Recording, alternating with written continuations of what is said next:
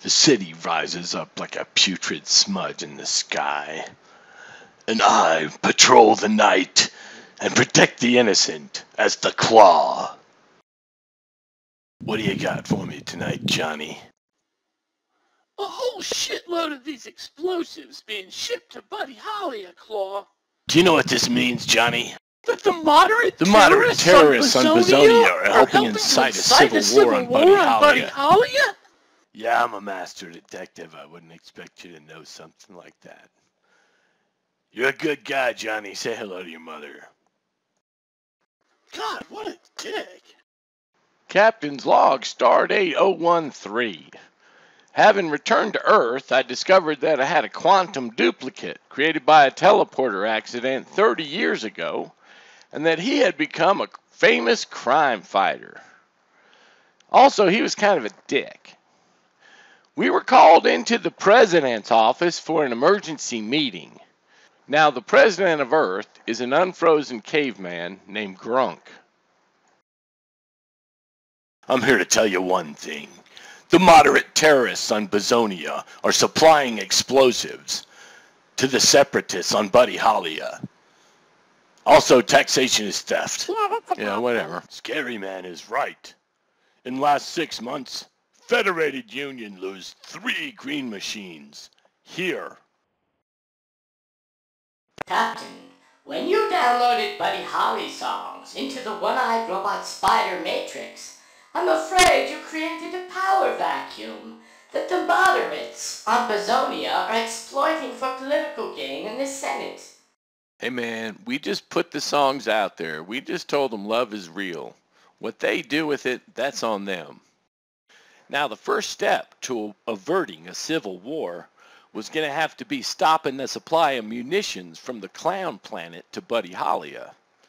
To that end, I've dispatched my security chief, my intelligence officer, Eduardo McGillicuddy, undercover clown, and Dolly Bear, my personal assistant, to meet with a delegation of moderates.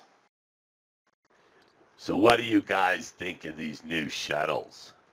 I get the efficient design, but I feel like a moving target. How far away are we?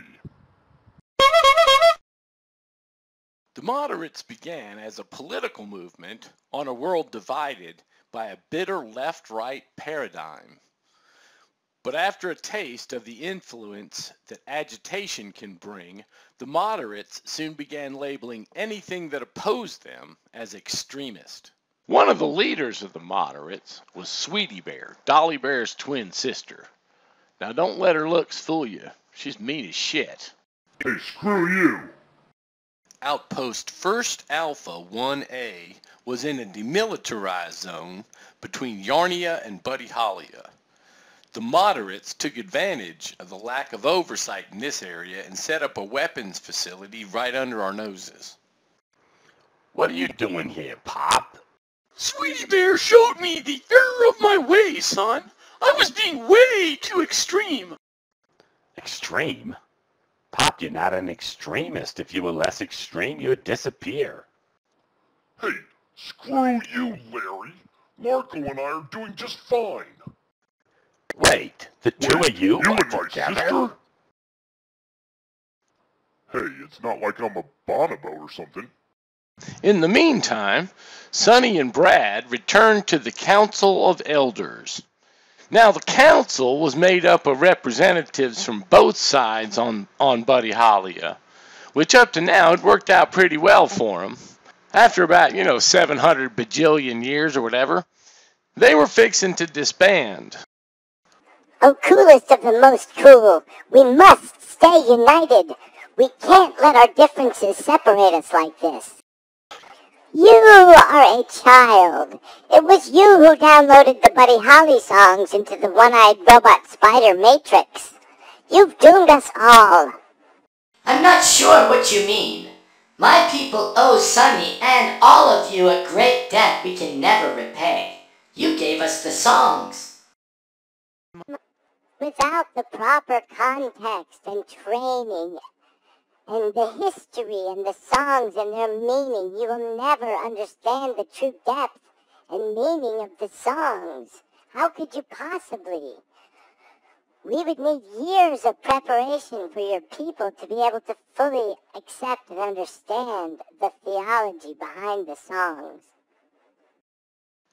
Perhaps my people just needed reminding that love is real.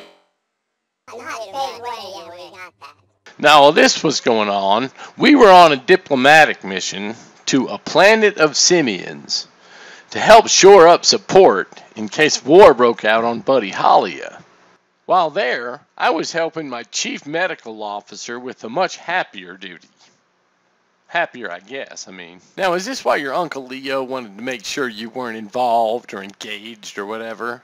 So he could make some political points by arranging some marriage for you? You don't even know this guy.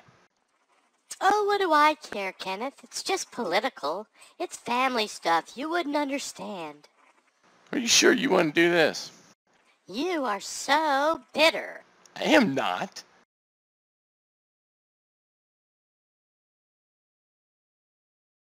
Larry, what the hell, man? Hang on there, Captain. It turns out the separatists on Buddy Hollia had weaponized the floating tentacle monsters. And while the new breed started off cute like pets, they quickly grew to human size. When can I join your crew, Captain? Maybe one day, son, you can grow up and be a plot twist. And soon they started eating spaceships. That's why all the ships had been disappearing on their way to Buddy Hollia. So here we were adrift in space with no ship and a civil war about to break out in the Federated Union. Big